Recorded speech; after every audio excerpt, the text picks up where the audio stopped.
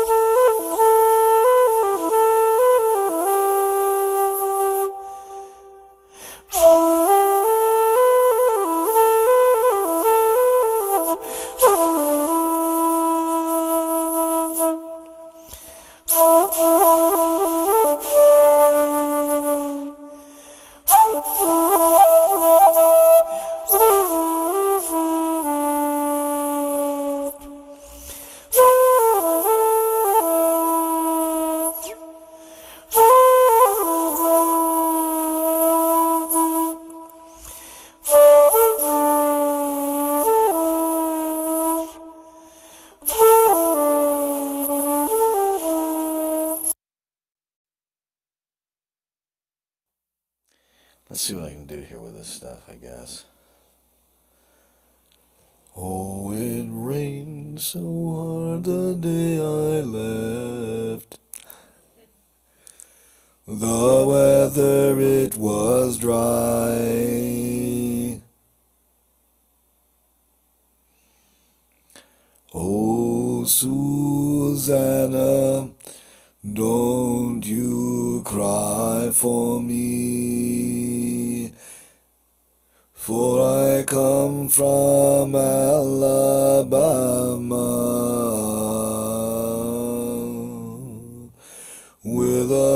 Banjo on my knee.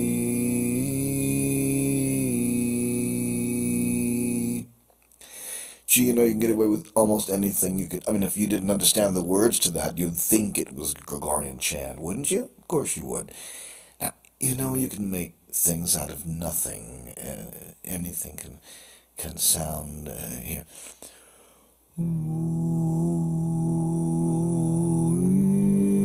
Oh, first, before I begin with this, I have to assure you I, I have no command whatever of Latin other than the pig variety. I hate Latin. Everyone knows I hate Latin. I always have. Latin, Hebrew. I don't like very many languages. Human languages I like the least. The very least of all. Always have, always will, Gabriel. And here's the reason for it. This is my Latin chant. It is Latin, all right, but it is Attenlay. So this is an ass in an asme in Attenlay. Brought to you Irectly de ibe uye one uhe. Irhe iwe oge re ore atne oli oli oxen free. Oli oli oxen free. Oli oli oxen free. Holy, holy oxen free.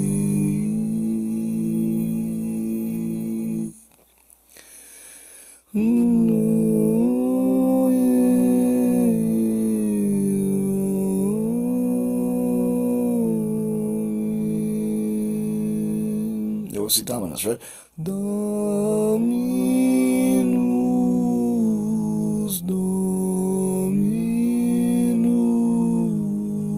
And then something like E pluribus unum or some such thing.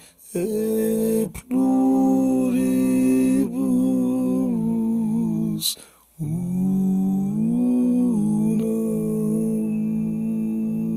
And then they go on to say some other mm, things, you know, the things you'd expect to hear in Mass, uh, like uh, Paternoster and uh, Nostradamus and so forth.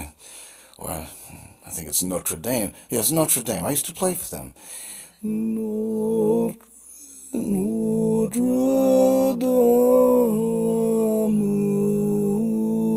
Damus. See how close that is? Notre Damus, Nostradamus. I mean, it's so close you could mistake them for twins, Gabriel. Okay. So now here's another thing. Is what I'd like the third choir to do, Gabe. You ready? All right. Give us this day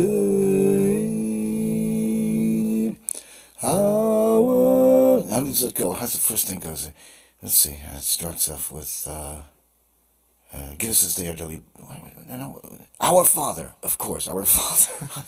I forgot. I don't know why I forget these things, Gabriel. I have no idea, just as I do not know, as my friend Jose Perez says, why in the hell we can't get Nova Scotia Belly Lox up here. No one knows that. Valerie Perrine, where are you? All right, I know where Bill Bixby is. He's here. Now, you remember Bix Bill, Bix Bilby, don't you? Oh, God, now I've done it again. All right. Our Father, Richard in heaven. Is that now? Our Father, Richard in heaven, hallowed be thy name. Thy kingdom come, thy will be done on earth as it is in heaven. Give us this day Goldberg's bread and rolls, and so forth. You know, just carry on the usual way, but he's given so much to the church, and uh, I just couldn't turn him down. Anyway, oh sure, they'll they'll accuse me of taking kickbacks, Gabriel, but I need money up here. You know I need some money up here. People don't understand how much it costs to run a universe. They never understand these things, Gabriel. I'm telling you, they have no compassion for what goes on here. Nothing. Oh, man. It's all sit around and oh man, yeah, but mo, and so forth. I mean, on and on and on. This is what I do for a living, Gabriel. What I do for a living. Do you understand what I'm saying, Gabriel? Do you understand what I'm saying to you? You have all the fun. You go places. You do things. You travel. You get a travel allowance. I don't get a travel allowance because I don't travel, Gabriel. Yes, I know. I don't need anything. I don't need anything here. Nothing whatever. That's not the point. I don't have a travel allowance. I don't get an expense account. You get the expense account. You get the credit card. You get all the plastic. What do I get? I get all the stuff that isn't. Okay, Gabe, I'll tell you what. Here, I want the, um, let's see, the 11th and 12th choirs. Uh, they could, try, why don't you have them do something more along the lines of, uh, yeah. Padme Hum, Mani Padme Hum. See. Om Mani, Om Mani,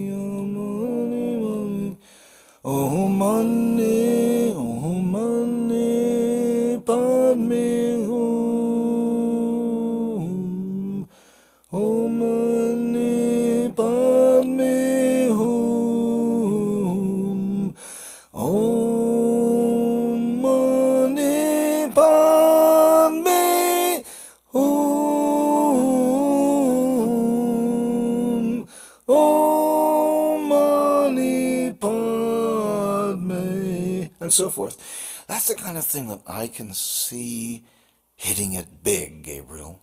Big. Remember the tune, okay? Because comes the 50s and 60s, people love that kind of music.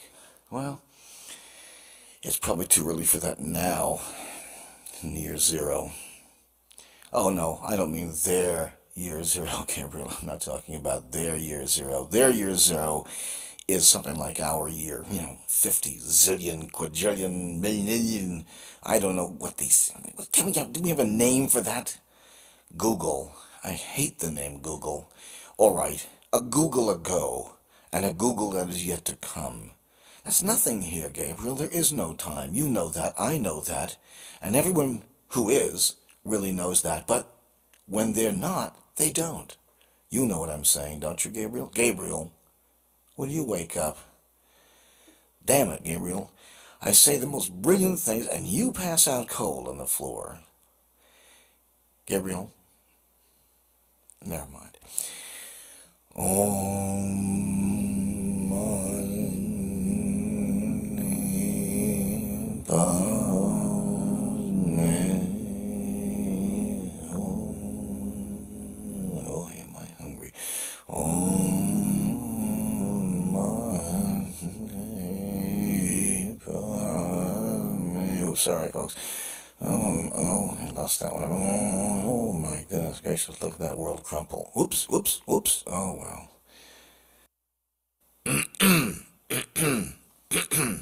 No, I, I, don't cut that out, Oz. I need those coughs in there. That is my objective test to see whether or not I'm I'm, I'm getting through. It also was a test to see whether my whether my throat has a frog in it. Now you may laugh. I once had a frog that had a man in its throat. So didn't get a laugh here, but you should have heard what happened at the Palladium. It was all they could do to keep from cracking up out loud. Okay, so uh, when you chant, you're a chanter all the way from your first cigarette to your last dying day. I mean, you have to think all in terms of chanting uh, from you, and rather than something even being carried by your breath. Your breath and the sound are only things that actually support what you're really doing. What you're doing is sending your ki, your force out, but you're sending it out uh, in, in much higher elevated planes, much higher elevated frequencies. But um, I sound like uh, suddenly I, I could, uh, uh, well, you, you know, you know, you know, uh, uh, uh, the, the, the way, the way that, the way that I always have thought about this uh, was that you should have a uh, strong intellectual grasp of the uh, situation before you begin to move out of the body. And I, for one, don't appreciate the out of body experience.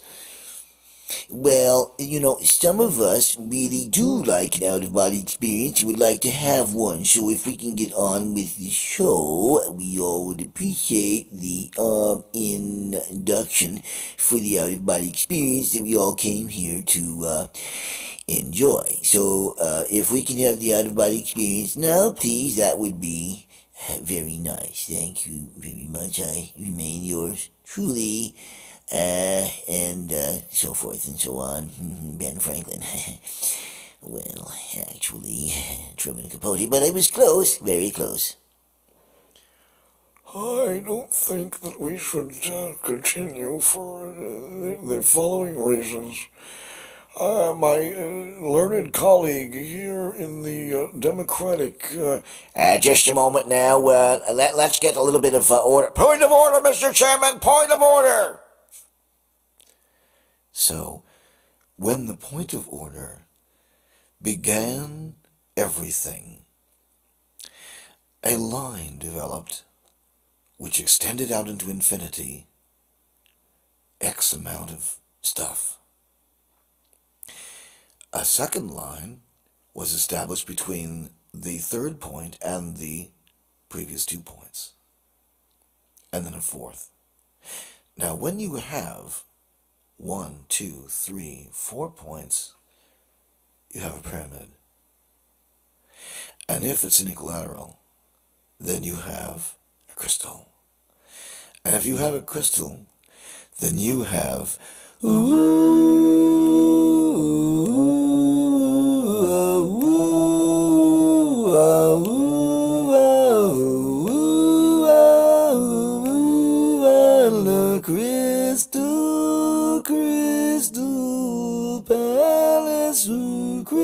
crystal, and so forth. But I'm not getting into that right now because we really need to get into the induction. We need to get into it very, very rapidly. So if you lie back very, very slowly, lie back on your on your back, yes, on this marble slab I have here for you. My assistant will help you in a moment. In the meantime, we, we have to stop for a moment because I see that our director wants to have a word. We'll be back in one moment after this word from our sponsor. Listen very carefully to what he says because everything he says is important. Eh, okay, we're back now. And uh, there's your problem with the frequency. There we are. Okay, so that's fine. Oz, thanks. Now, um, so we were going to do an induction for an out of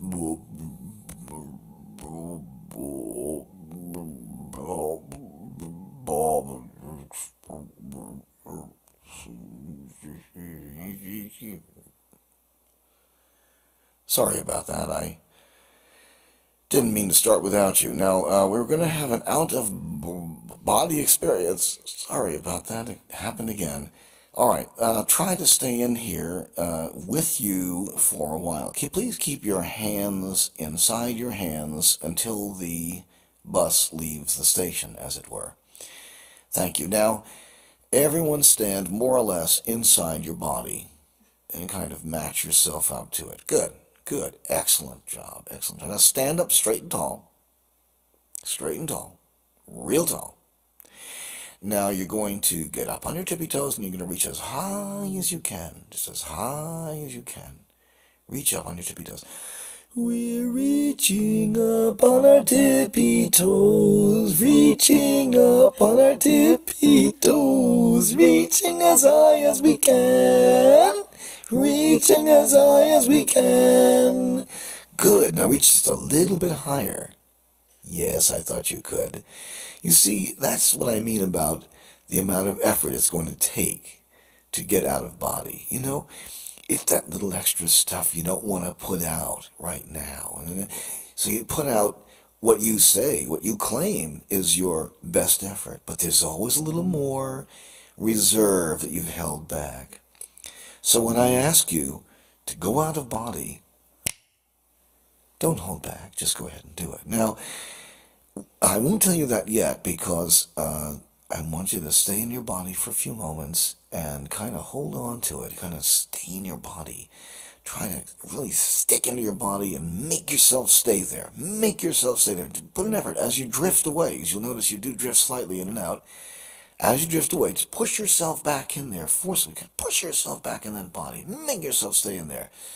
And do that for about, oh, the next 30 seconds or so. Just push yourself back and push yourself back in. Push yourself back in. No, no, yeah, keep pushing yourself back in. Push yourself back in. Come on, keep pushing yourself back in the body, back in the body, back in the body. Good, keep pushing yourself back. Pretty soon I'm going to tell you to let go. Push yourself back in the body, back in the body, back in the body. Almost now, back in the body. A little bit more, I'm going to tell you to let go. Back in the body, back. Push, push, push. Let go. Now that that works only momentarily. Doesn't get you out of the body a lot. It gets you out of the body just for a moment. But when you get that little flash out there, it shows you one of two, actually shows you two important things. shows you that you can do it, and it shows you that nothing bad happened to you when you got back in. See? In other words, not that it's safe, but nothing did happen to you. Maybe you were lucky, maybe not. Let's see. Let's go out again. Push yourself into your body. Push yourself into your body. Just keep pushing. I'm not going to cue you. Just keep pushing yourself into your body until I give you the cue, until I give you the signal. Push yourself into your body. Keep pushing and pushing yourself into your body. Down and sideways and up. And just cram yourself into that body. Push, push, push, push, push. From all sides now. From every side. Every angle. Top, bottom, sides. Cram yourself in. Push, push, push. Like a lot of pressure. Let that pressure push, push, push. More and more. More and more. Cramming it on you. Jamming it on you. Let it go. Just for a moment, you got bigger than your body, didn't you? Isn't that interesting? And it was safe, and now you're back. Okay. Now we're going to do another induction. This is a little bit, a little bit braver. I'm Going to get you outside your body just a little bit more than that. I'm going to have you close your eyes. Close your eyes. Come on, close your eyes. You got to do it.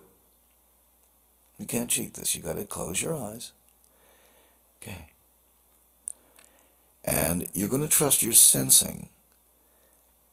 You're going to look through your face right at the, at the ground or at the floor, right ahead of you. Just look right through your eyelids till you can see it almost. Not completely, just a little bit. You can see kind of dim outlines of the. the now move your head around. Don't open your eyes. Move your head around and see how it kind of is a shadowy thing, little lumps of things. You can actually almost make out what they are. In fact, you can. if you know the place you're in. Make out what each of those shadowy lumps is. Now, at the moment, I'm gonna, I'm gonna, I'm gonna uh, give you the signal. When I give you the signal, open your eyes, and as you open your eyes, you can be out of your body just for a moment, and you can come back in. Ready? Open your eyes now. Isn't that a wonderful sensation? Now, we're going to get used to that sensation, and more and more, we're going to start liking that sensation.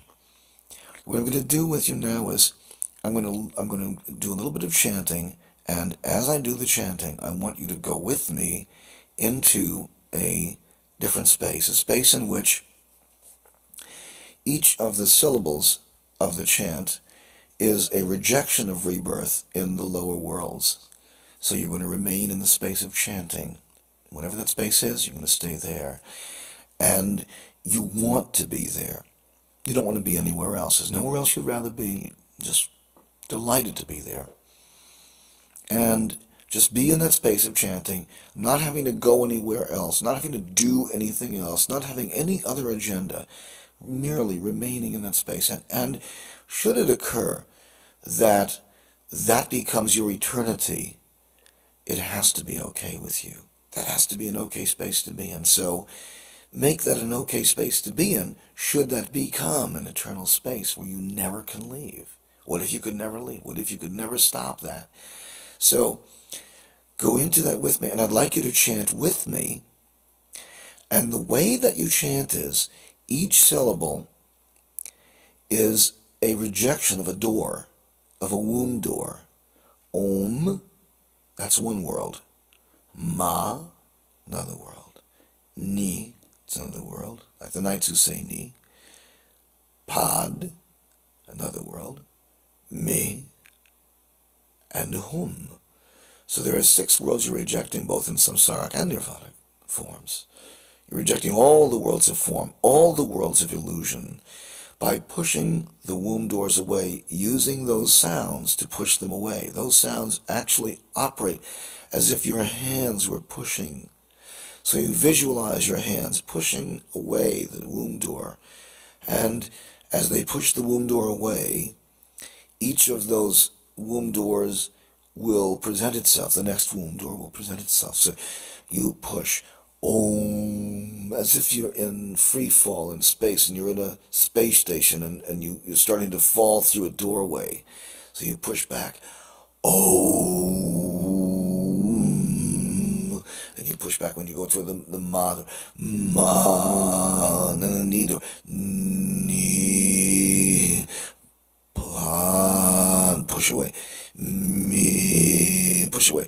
Home, push away. So you're you're pushing away. You're refusing rebirth in the lower worlds, refusing it, refusing refuge, and remaining in the clear light. And you're going to remain in that clear light, which is the chant, which is that sound, the Om Mani Padme Hum, that is in that space, that is the clear light. And eventually, all of that Om Mani Padme Hum, you notice that it goes in rounds, that each of the monks takes a turn uh, in the round, so that you, when you chant, when you yourself add your chant to this, try to fit it in with the rhythm of the chant. There is a rhythm, and the rhythm can be found. And when it can be found, you will find your own place in that rhythm and in that sound. And that's where you should be. You should find your place and fit yourself into the jigsaw puzzle of that beautiful mandala, which is the sound. If you could visualize the sound, it would be a, like a mandala. It would be visually very beautiful, like a, like a scintillating snowflake in all directions. And that's what the man, that's what mantra is. That's what the, the the sound is actually created by and is creating its own form, its own life form, thought form, formlessness form. So that burst of radiance is maintained in a round form. Om mani pa om mani pa om. In other words, each one starts in as the other one has left the station. Do you follow? Om mani padme. And when they get to that point, the next person starts in Om mani padme. Like uh, row, row, row your boat. You don't all start at the same time, do you? It's a round. So you can chant in the round, as it were, the same way. You chant it as a round. That is the primary purpose of having many chanting, although there are some so skilled that they can sound as if there is no break. The idea is to keep the wheel turning. And so uh, you can use the silences as well, but if ideally you want to keep the wheel turning by keeping the chant going. And as one monk drops dead, another one takes a, the place of that monk. So, in other words, that it's all self perpetuating, it's self feeding, and and it is a perpetual motion machine.